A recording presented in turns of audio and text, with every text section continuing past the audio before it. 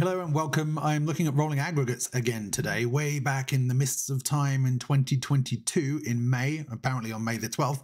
I wrote this blog post uh, about pd.rolling aggregates, and the purpose of that was to replicate in a Lambda function some of the functionality that you can find in the rolling module in the pandas library in Python. And it was somewhat successful, but the function that I produced was a bit of a monster. You can see it here. It was uh, oh gosh, 45 rows long, 45 lines long. Um, and I wrote it before I had access to VStack and before I had HStack and before I really understood scan, reduce, and map. As a result, I ended up using make array um, with wild abandon and thunks for, for no other reason than I wanted to use thunks. Um, and the result of that is that it was some co somewhat complex and somewhat slow.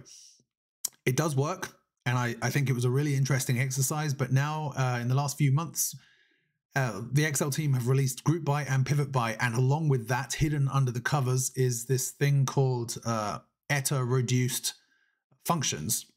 So what that lets you do is apply or use, I should say, native Excel functions as arguments to other functions. Don't know what that means? Doesn't matter. Let me show you. Uh, hopefully, it will be interesting.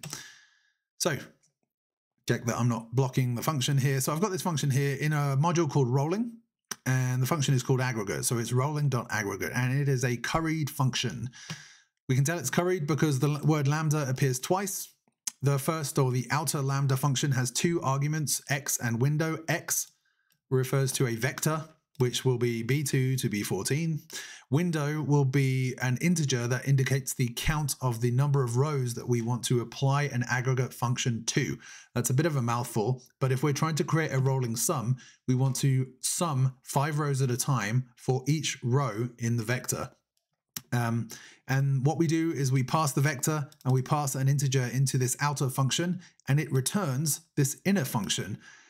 And then we can pass into the inner function a function like sum or average or min or some custom lambda function that we've created for some nefarious purpose.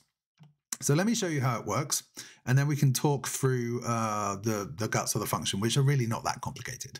So first of all, uh, rolling.aggregate, and x is that range. Window, I'm going to use 5, and then I open another set of parentheses to pass the function into the lambda function that is returned by the first lambda function.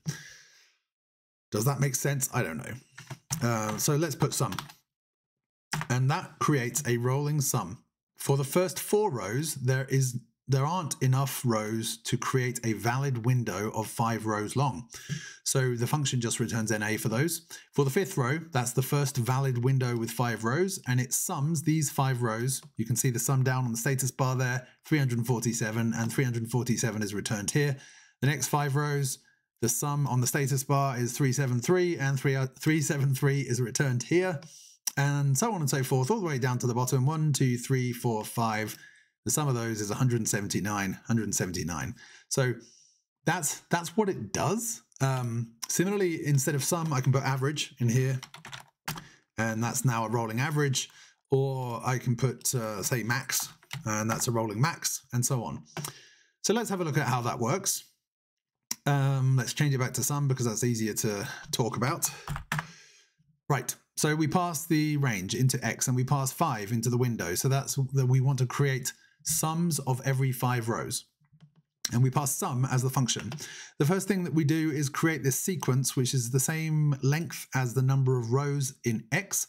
So in this case, it's 13. So that's a sequence of one from 1 to 13. And we're calling it underscore i. And then the return value of the let function call is this call to the map function, where we are mapping over the sequence 1 to 13, this lambda function. And the lambda function is a function of one parameter, which I've called b. b represents each element in that sequence. So the first value of b is 1, the second value is 2, the third is 3, and so on through to b equals 13 and we simply apply this very simple if statement. If b is less than window, remember in this example we've passed 5 as window, so if b is less than 5, return the NA value. So the first four values, b is 1, 2, 3, and 4 respectively, and they are all less than 5, so we've returned NA for the first four rows.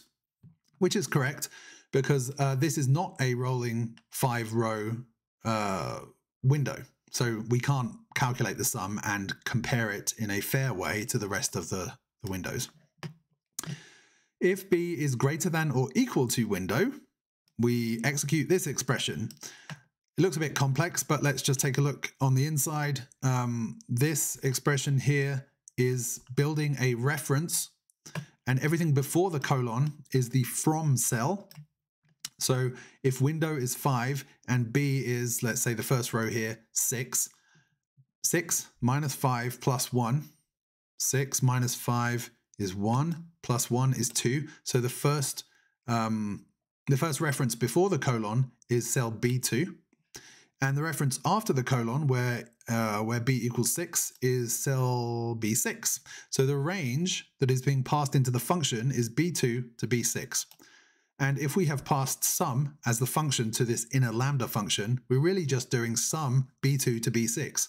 And everybody knows how to do that. It's just sum, uh, just drag it quickly, b2 to b6. So that's exactly what that is. Um, and that's just happening automatically thanks to map uh, and the, the wonder of the colon operator. So that is really how the function works. That's how rolling aggregates works. So I've just deleted that by accident. Let me get rid of this.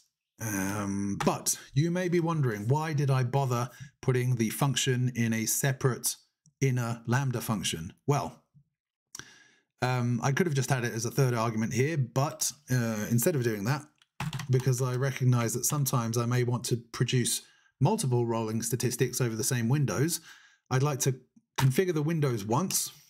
So those are my windows of five rows over that vector from B2 to B14. And now I can use reuse R because R is now a function with sum and R with average and R with min and R with max. And I can even use a custom lambda function in there so let's say R with lambda x, um, and let's use text join with comma space true and x. And what that will do, close the lambda, close R, close H stack, and close let. Uh, what that will do is it will text join the five rows leading up to and including the current row. So I've H stacked calls to the same set of windows over and over again. Uh, and this is significantly simpler than calling rolling aggregate for each aggregate that I want to use. And that's achieved by using this currying te uh, technique. So if I press enter, now I have five sets of statistics over rolling, uh, rolling windows of five rows each. So this is sum, this is average, min, max, and that weird and inexplicable text join function that I put there as an example. And that really is how it works. I hope you enjoyed the video. Have a great day.